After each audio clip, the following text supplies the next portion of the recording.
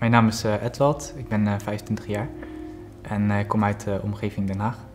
Um, als ik het moet vertellen, dan zou ik zeggen van het is eigenlijk dat je um, wanneer je psychotisch bent, dan beleef je de wereld anders. Dus je hebt zeg maar een ander idee of een hele andere belevenis van de werkelijkheid.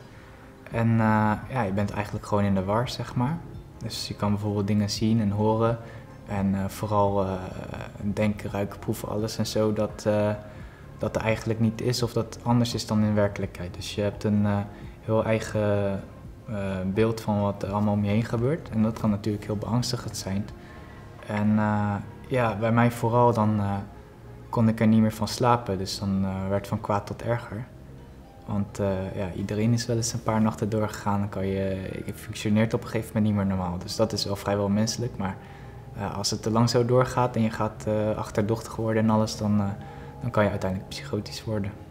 je hebt een hele nasleep erna. Als je, want eigenlijk draai je hersens gewoon overuren. Zeker als je een week of twee weken niet hebt geslapen ja, het is natuurlijk niet leuk wat er is gebeurd. En uh, ja, uh, dan vragen mensen waar ben je geweest? Of uh, wat doe je tegenwoordig? Dan speelt er wel schaamte een rol van, ja, eigenlijk doe ik niet zoveel, want je bent vooral bezig met herstel. Vrienden van mij weten ervan, zeg maar. Maar het staat niet meer bij mij op de voorgrond. Het is een beetje naar de achtergrond gegaan. Maar dan wanneer ik nu begin met studeren, dan komt het wel naar boven dat ik weer moet gaan opbouwen met lezen en concentratie. Al die dingen moet ik weer gaan leren. Ja, ik, ga, ik ga beginnen aan mijn schooljaar in september. Dan ga ik HALO studeren. En hiernaast doe ik vrijwilligerswerk en nog wat cursussen ernaast.